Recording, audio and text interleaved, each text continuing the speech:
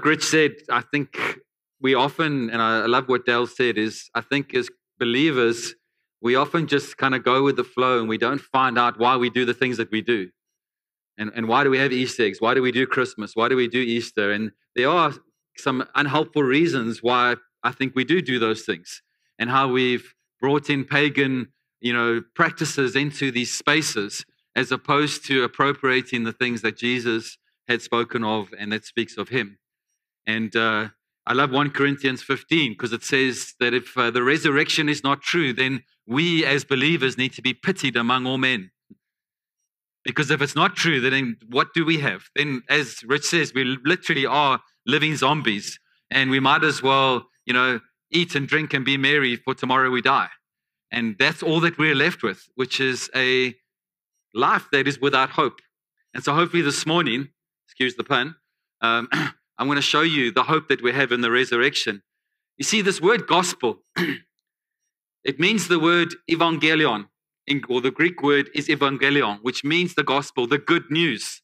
And we talk about this good news and we talk about the gospel, but really what it was in, in those days was that when you said the gospel of Caesar Augusta, what it was talking about was people were so uh, pleased to have this new uh, Roman emperor who was now going to take on the world and bring peace to the land and all of those kind of things, even though they did it violently and they would do that. And not so much for the oppressed of the Roman Empire, but it would be the good news of now a new Caesar or a new emperor coming into play. Or they would celebrate his birthday because of who he is to the land.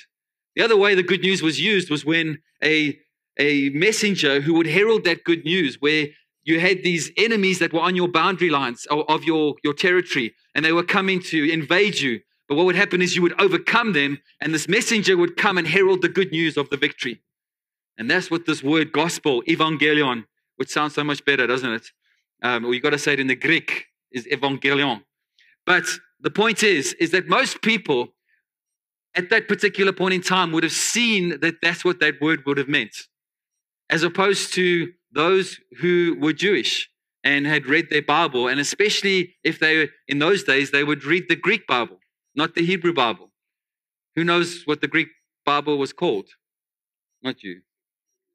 The Septuagint. And why they say that, but there's a reason why they call it that. The point is, is that they would have understood that this would have pointed back to the book of Isaiah. And uh, they would have gone to this particular text. I don't know why this thing didn't work. How beautiful on the mountains are the feet of those who bring evangelion, who proclaim peace and bring good news, who proclaim salvation, who say to Zion, Your God reigns. And that was what would have taken the Jewish people back there, or those who had read the Greek Bible. And then the followers of Jesus would have kind of, they, they would have re- remembered what Jesus would have said. And in Mark chapter 1, verse 15, it says, The time has come, the kingdom of God has come near repent and believe the good news. Repent and believe the evangelion. This amazing news, this news that's almost too good to be true, but it is. And so, in all of this, what Jesus was evoking was this Isaiah good news that would confront the so called good newses of people that were on planet, Project Planet Earth at the time. People would say, Oh, the good news of Caesar Augusta now being emperor. And he, he, what he was trying to do was Jesus was evoking, no, actually, there is a good news. There is an evangelion which is greater than that of what the world produces. And so, what Isaiah was actually saying, and if you go read Isaiah 42 to 55, Isaiah was saying that God has got this plan in place. And this is an amazing plan. It's a, it's a plan of good news. And he longs to redeem Project Planet Earth from the way that it is kind of the trajectory in which it has flown. And it's now the time that he is doing so. And so this plan, as I said, is stated in Isaiah. The thing is, I guarantee you that most people here would understand the gospel to be we're all sinners. Jesus died on the cross for us, and we've just sung about it, which is all true. And he died in our place because actually the wages of sin is death, but the gift of God is eternal life for those who believe in Jesus. And so, what would happen then is when I do believe in him, then I get the ticket, I give the right to go to heaven. Right? That's what most people believe the good news to be. I don't know about you, but that doesn't sound like great news to me. I mean, yes, okay, my sins are forgiven, but actually, what is going on in terms of this whole process? because we, as most Christian believers, it's kind of what I would call evacuation theology. That's why the rapture has so much traction in our society. God's going to take us out from all of the Armageddon and all the, the pain. That's not true. Go read the Bible properly. Armageddon doesn't happen. The bloody lamb walks in, and we're doing that series on Revelation, which we get back to next week. But the point is, is that what most people believe is, no, get me out of this place. I want to get saved. I want a savior. I don't want Lord, but I want a savior to get me out of this place. Give me the ticket to heaven. And that's how we live our lives, longing for heaven as opposed to actually living our lives out on earth. And so it's this thing of we're so heavenly minded that we really no earthly use at all. Or we have the vampire theology, the blood of Jesus. Again, these are their truths here. So don't I don't want to minimize these things. I want to exalt something else in a moment. But it's this vampire theology, the blood of Jesus. If we've got the blood, then, then that is the remission of sins, and of course, all of those good things. But evacuation and vampire theology are not the true gospel, the good news of Jesus. And that's why Paul defines it in Romans chapter 1. And he says, The gospel he promised beforehand through his prophets in the Holy Scriptures regarding his son, who, as to his earthly life, was a descendant of David, and who through the Spirit of holiness was appointed the Son of God in the power of his resurrection from the dead, Jesus Christ our Lord. Through him we have received grace of apostleship to call all the Gentiles. Now, notice this to the obedience that comes from faith. I'm going to come into the back to this in a moment. But most what hap- most most believers they go to that the fact is, is that I need to obey before I have faith. But actually, obedience that comes from faith for his name's sake and you also are among the Gentiles who are called to belong to Jesus Christ. So, the point of the gospel is Jesus is calling us under his lordship, under his headship, into his kingdom where he is king. And he's asking us to turn away from idols, to repent and to believe and to trust in him. And it's not about kind of escaping this world, like I've already said, but it's about establishing his rule and reign here on Project Planet Earth now. That's why Jesus said, my kingdom, the kingdom of God has near, has come near. It is now. It's now, but it's not yet. And that's why we often feel schizophrenic as Christians. You see, we can be present gospel people right now. We don't have to wait for heaven. We don't have to go, well, oh, one day when I get to heaven. No, no. We can actually live in the kingdom of God now, carry the gospel as gospel people and be examples of this new creation and actually dispense of it wherever we go and wherever we move and wherever we have our being. I don't know why this thing keeps shouting at me. Now, the fact is, Jesus is the gospel.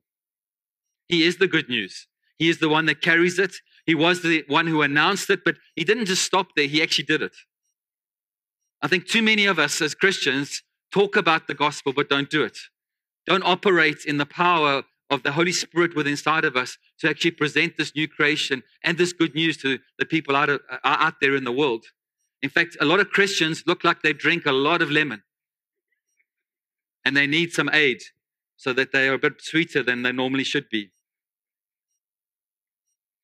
See, the, the gospel isn't about something that will happen to us. The gospel is about a new reality that's already been born. It's the energizing power of Holy Spirit, the resurrection power that resides within us as believers and helps us be those gospel people. That we are the signs of the good news. That we are the people that carry this and we, we actually infect people with the gospel, the good news of Jesus. And the good news is that the resurrection of Jesus proves and proclaims his redeeming and transforming of creation. And that's why when we do Revelation and we get to the end of Revelation, we're going to see God renews heaven. God renews a new earth and brings us into that space. Now, here's an interesting thing the early church, forgiveness was not the main part of their salvation and gospel message. And what proves this is that there was a, really the late emergence of the cross that came into culture and came into Christian art. And I'll show you in a moment, but Santa Sabina was built in AD 430. That was the first time that anybody can actually prove that there was a cross used as a depiction of Christianity. This is the picture. And look at where it is. These are doors. And I haven't shown you Santa Sabina. It's a, it's a kind of a, almost a complex church complex. But this is the, all it is, and there it is there.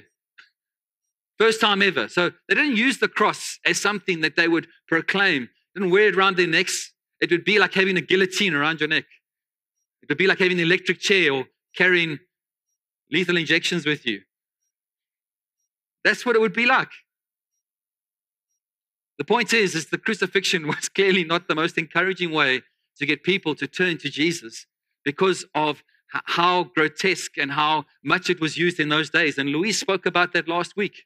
And she set up this preach because actually that's what you would have seen. The streets littered with crucifixions, corpses, birds eating the corpses. I, know I'm being, but that's what would it have been. So now you're going to use that as a come on, turn to Jesus. This is the gospel. The thing is, the early church was more concerned with miracles, signs, and wonders, and the, the hopeful aspects of our faith, the resurrection and the ascension of Jesus. And if we don't understand that, then you know the resurrection doesn't become the point, but the death of Jesus does. Whereas the early church was more focused on the resurrection of Jesus as the central message of the gospel. Whoa, how was that? but they didn't avoid the message of the cross either. Because a lot of people thought, well, let's stay away from death as I've just described it. But here's Tertullian, one of the early church fathers, and he was um, uh, an apologist of the time. And how's this? He writes a letter to the provincial Roman governors and he said, Proceed in your career of cruelty, but do not suppose that you will thus accomplish your purpose of extinguishing the hated sect, the Christians. We are like the grass which grows the more luxurious, luxuriantly, the more often it is mowed.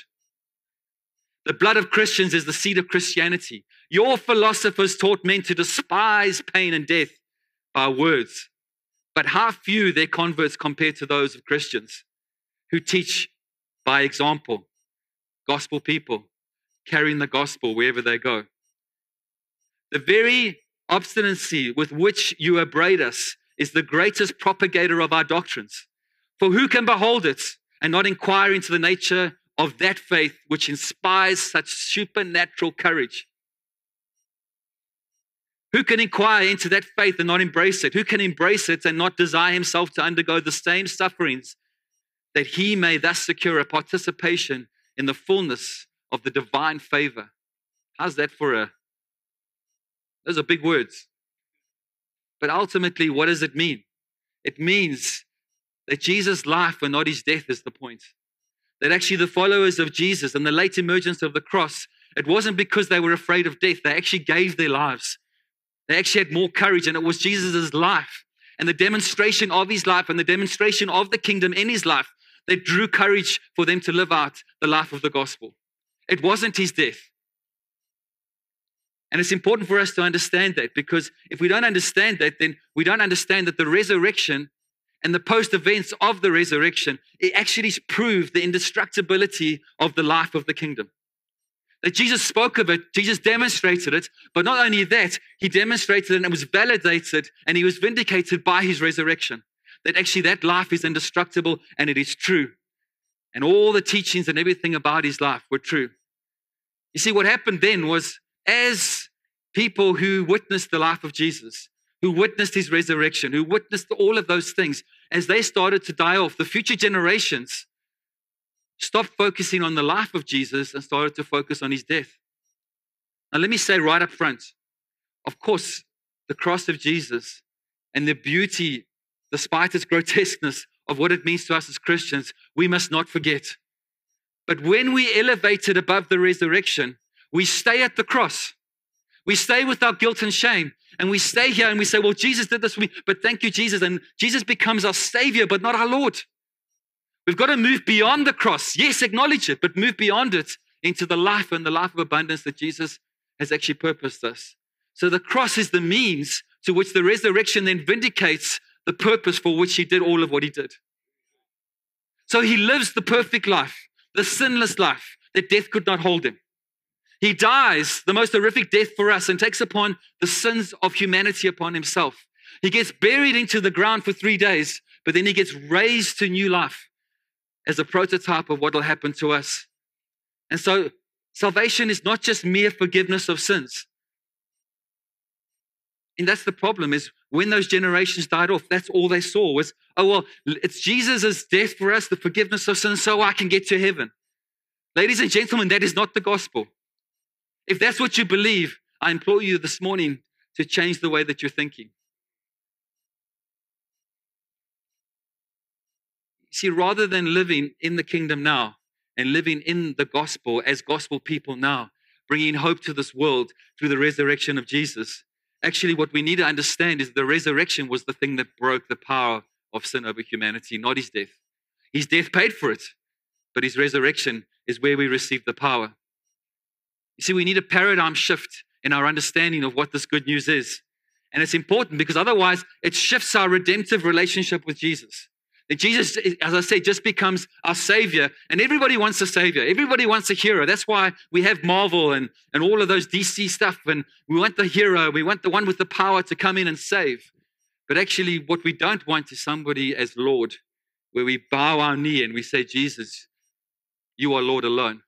You are God and there is no other. Otherwise, what happens is the cross just becomes this mere place of suffering.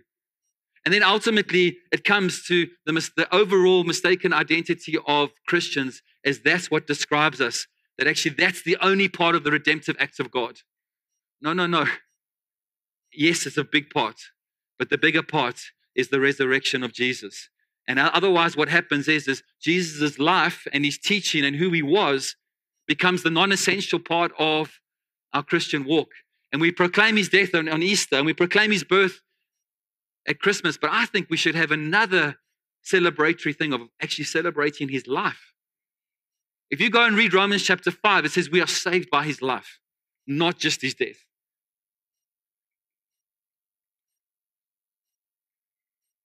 It shifted the trajectory of the church. Once this kind of all about the cross came into play, and even if you go into um, you know the, the, the Reformation, you see Calvin and Luther and everything else, what they did is they elevated this thing of redemption, the atonement that actually was all about the forgiveness of sins. And of course it is. I'm not, I don't want to minimize that. I want to even increase that. But what I want to increase more is the resurrection of Jesus this morning. In your minds, that without the resurrection, the cross, well, how many people died on the cross? But how many people rose from the dead after dying on the cross? Isn't that the point? And I honestly feel that the people here this morning that actually within their lives, they are stuck at the cross. Which on one level, yes, it's beautiful. But on another level, you just stay there and you don't live in the life that Jesus wanted to bring you into abundance. And God is saying we need to be the gospel people that He's created us to be under Him as Lord of the kingdom, that He is King of that kingdom. And if we operate in that and we allow that gospel to come and change us from within, we will become those people that actually bring hope to society rather than die in our own hopelessness because we just stuck at the cross. Thomas Aquinas, also one of the early church fathers, was walking in the splendors of Rome with a mate. And his mate said to him, Thomas, isn't it amazing that we don't have to say, silver and gold have we none as the church anymore? And Thomas turned to him. He says, Yeah, but the problem is, is neither can we say, in the name of Jesus of Nazareth, to the lame man, get up and walk. The church has lost its power because it focuses only on the forgiveness of sins, as opposed to the miracles and signs and wonders that the kingdom of God brings when we as a people celebrate the resurrection of Jesus Christ and live in the life and the life of abundance that He has pro- propagated for us. The resurrection validated the kingdom life, not just the forgiveness of sins. Because when the church just becomes the dispenser of the forgiveness of sins, we lose the life force of the kingdom, which is the resurrection power of Jesus Christ that comes through Holy Spirit who resides within us. I know I keep saying this, but the, the gospel is not only of the forgiveness of sins, it is of the life that comes and the abundant life that comes from the resurrection of Jesus, again, which proved who he is. Jesus was not dead. And when we die, we will be resurrected again in due time when he comes back and ultimately brings about the consummation of this age. where we are the resurrected ones of Jesus. And that is the earth shattering gospel, the evangelion of this world, is that Jesus, because of his resurrection, we too will not die. We, this body will die, but we will not die because it is already proved. Now look at the central gospel, the central message of the gospel. Look at those texts. I have come that you may have life and life in abundance. Jesus said to her, and this is at the, the resurrection of, um, of Lazarus I am the resurrection and the life. The one who believes in me will live, even though they die. And whoever lives by believing in me will never die. Do you believe this? Lifehouse Church this morning, visitors to Lifehouse Church this morning, do you believe this? John 14, 6, Jesus answered, I am the way, the truth, and the life. Where's the forgiveness of sins in this? If we focus on the forgiveness of sins, then what happens is when we fail, we continually look inside and we continually be internal rather than external about dispensing the life that God has given us. John 5, 1 John 5, 11. And this is the testimony that God has given us eternal life, and that he, and, and this life is in his Son, who had he who has the Son has life. And Ephesians chapter 2, one of my favorite texts, is that because of God's great love for us, a God who's rich in mercy, He made us alive in Christ, even though we were dead in our transgressions and our sins. When we reduce the gospel simply to the atonement, we are never able to operate in the kingdom living now. The kingdom of God is available to us now. It's already, but not yet. I get that. And sometimes we feel, like I say, schizophrenic because we God, we feel the kingdom of God. We feel his presence, and then, oh, I don't feel anything at all.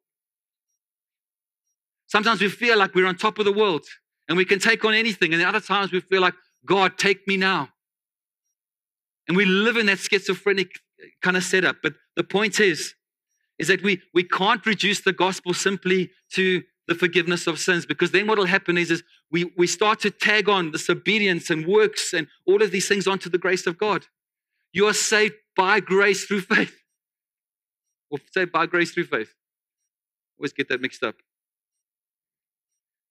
Again, I want to implore you this morning let's move beyond the cross to the abundant life that God has given us. Yes, we celebrate that our sins have been dealt with and paid for. But the purpose of it is that we can live a life and a life of abundance and be a gospel people, dispensing the life of God to this world that so desperately needs it. To finish off, I want to just run through this text. I want someone to read it though, so that my voice. Uh, Nitz, why don't you read for me? grab it here as well.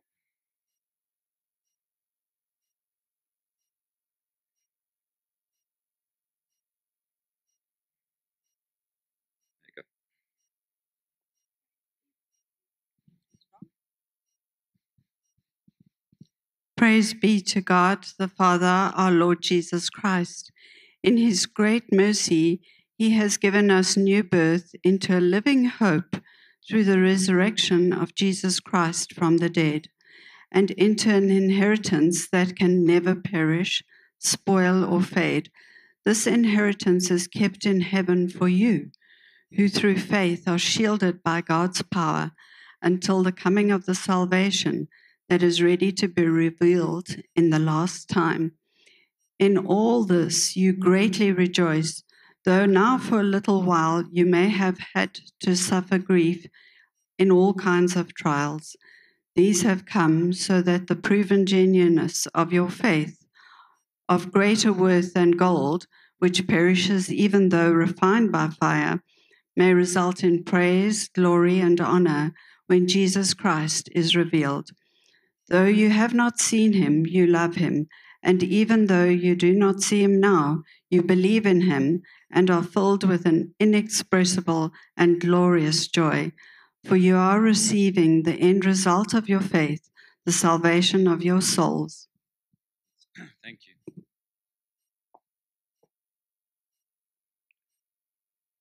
Now, did you notice all of what was said there? What's the first place Peter goes to? Resurrection. So, like, who was Peter? Well, number one, he was one of the first disciples of Jesus. He was a fisherman off the coast of Galilee. He was quite an impetuous man. As you know, he did some crazy things. He also uh, was one of the few that, that kind of betrayed Jesus.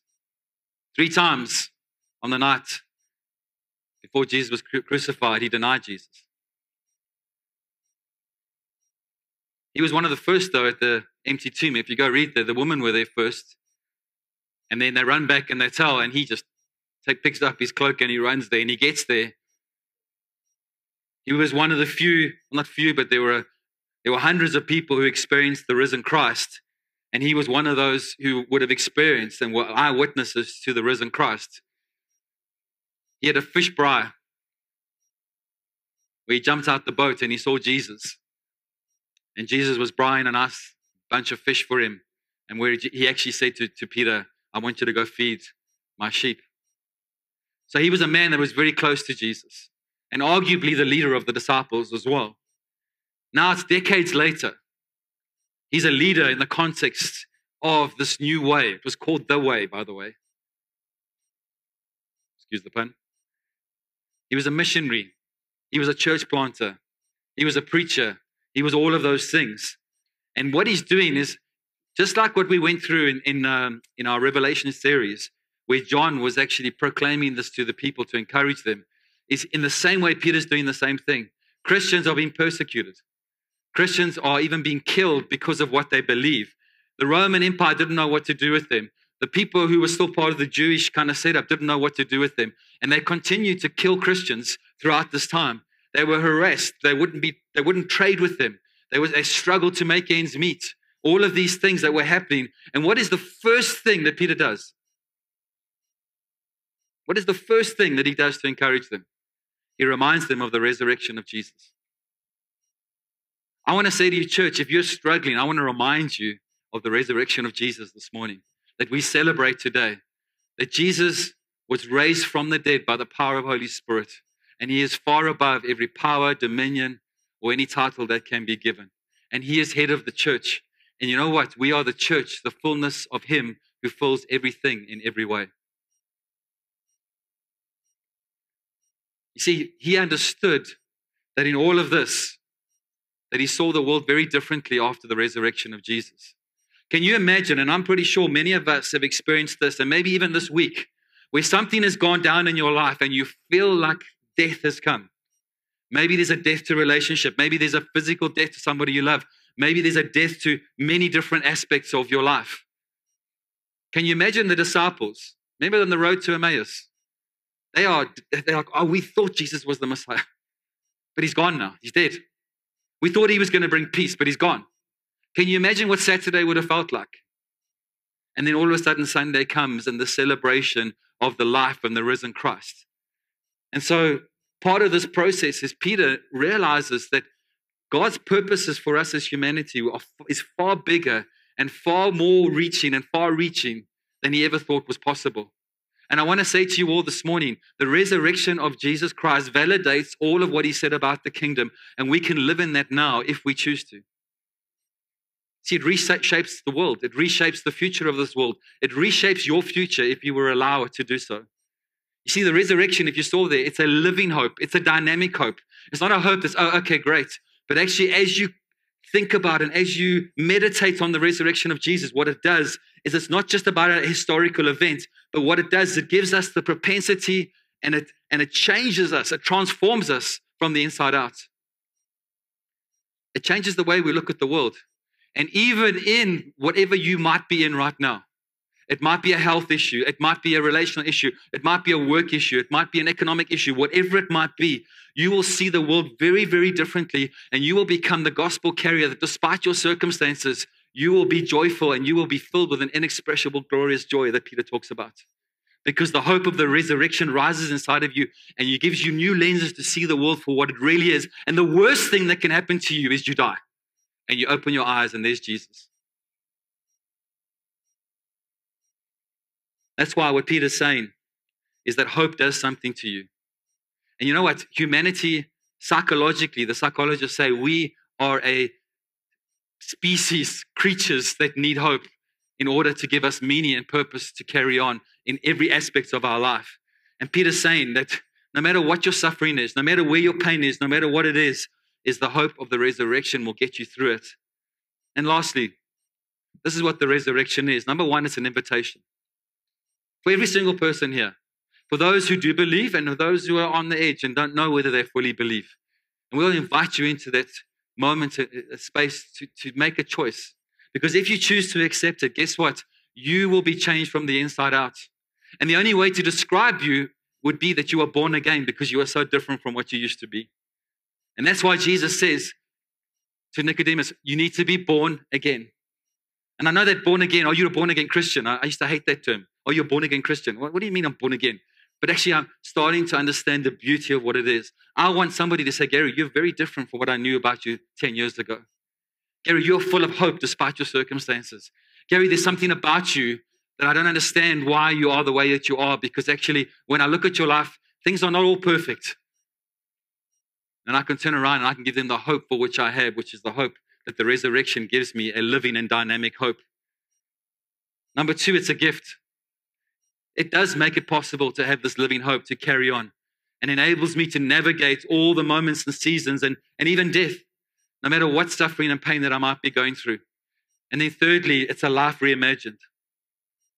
It's this kingdom living that we become a gospel people, that in light, we start to live in light of eternity, not evacuation theology, that we live to the fullness now, that death is merely a veil through which I walk through into a new beginning where God, the consummation of this age, will bring about a renewed heaven and a renewed earth.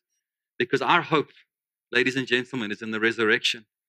And let's keep that front and center this morning. And as we go into this week and into the rest of this year, if we hold that up, no matter what is going on in front of us, I honestly believe we will be able to navigate that as the gospel people that God's called us to be. So let's stand. Won't the team come up?